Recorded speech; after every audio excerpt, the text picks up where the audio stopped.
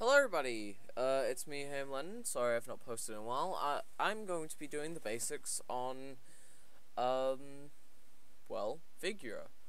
Figura is a fun mod where you can do all types of stuff, like make models for like cool OCs you can make.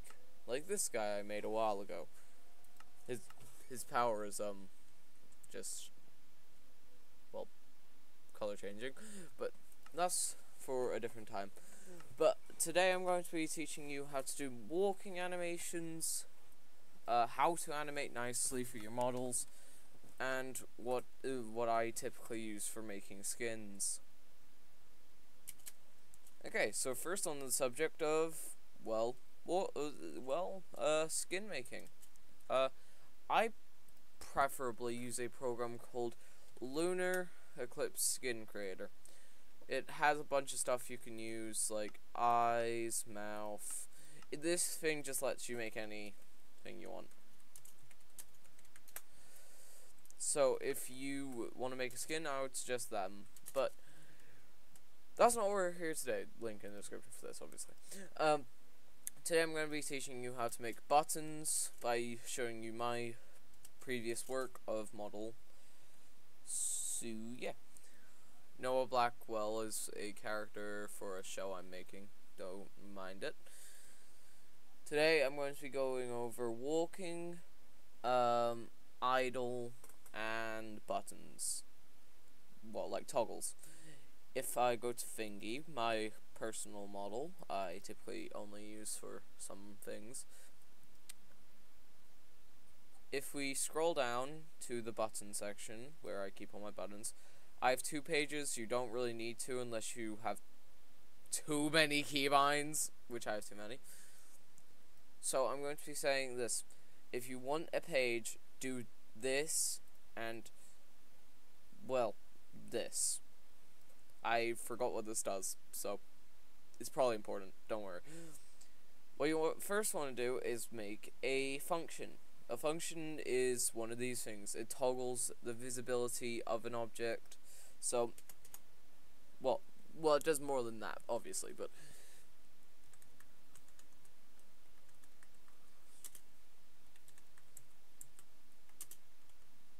Dot, uh, cheese. This is going to be deleted after the video because this will break my model because it's not going to be doing anything, really.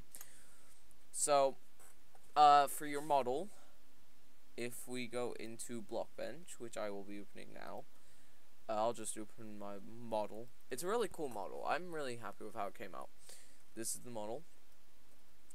Um, when you create a model using this, I would suggest going in here. Uh, I'm not going to be creating this, obviously, so that I don't have to bother deleting it later. You just select model, select all of these pivots so you can make custom pivots and stuff. Hi uh, you can hide the villa, uh, vanilla thing here, but, um, oh, where is it?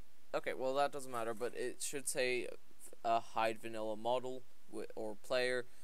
So add that if you can find it, because I cannot, I cannot right now for some reason. Oh wait, you have to include include that and then hide vanilla player model to not have your original skin combining with the one you're using in this, because I do not typically do that. For if you want to toggle model dot model dot root. Root uh, is made whenever you make something. Dot, uh, I don't know what your character would have, so I'm just gonna do, like, cheese as the example. Cheese dot, um, example.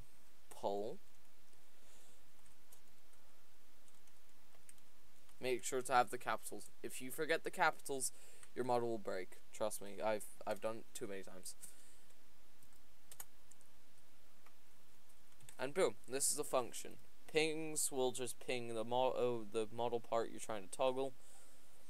I'm going to delete this now because it's no longer important to the explain explaining.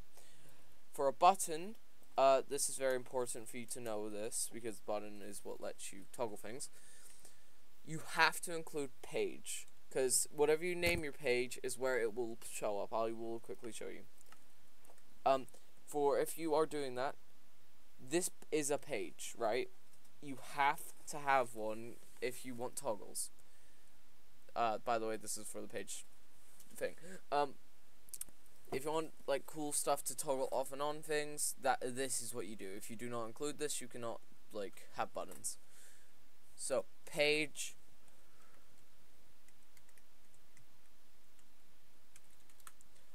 I'm pretty new to the software too, but I'm just here to show you guys what to do so that, well, you know, you don't screw it up because I'm here to help. You need for area these for both title.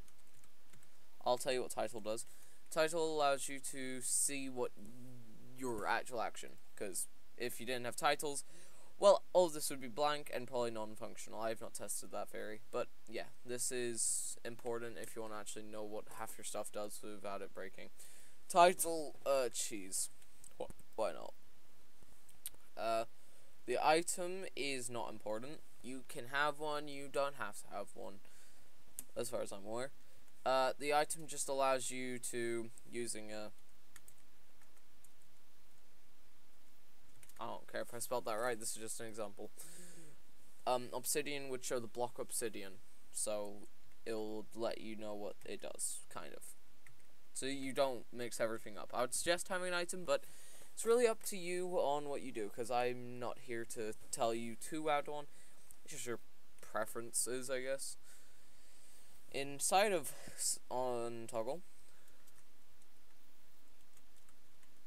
you know why it's called function? Because it's fun. I'm just kidding, it's not. um, you want to delete this. Uh, no, you do not. You do not want to delete that. Bad advice. Um, states, just, well, it's what you do for a button. You just have it. Don't delete it. You can keep it if you want. I'm going to not be giving this... Well, of course I'm going to be giving it a ping so I can show you. The pings are very useful. They're the things I actually ask. Imagine talk talking hologram. If I had a button to toggle it, I would need to have a ping called talking hologram or something. It doesn't actually have to. As long as you actually include the model part inside of it, it will do it. So make sure of that if you actually want a functional model, I mean.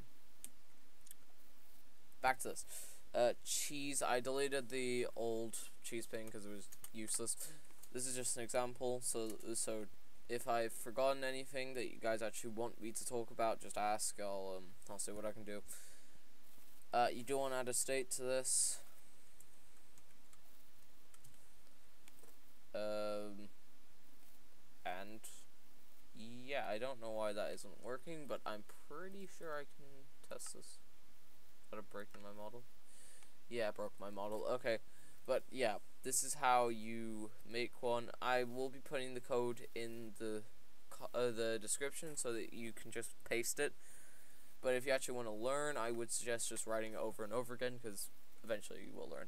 This will toggle the body part. You have to, and I need to specify this now, name your thing and just don't call it bone 1, bone 2, bone 3. Because that would be stupid. That would be really stupid. Uh, because you'll forget what everything is.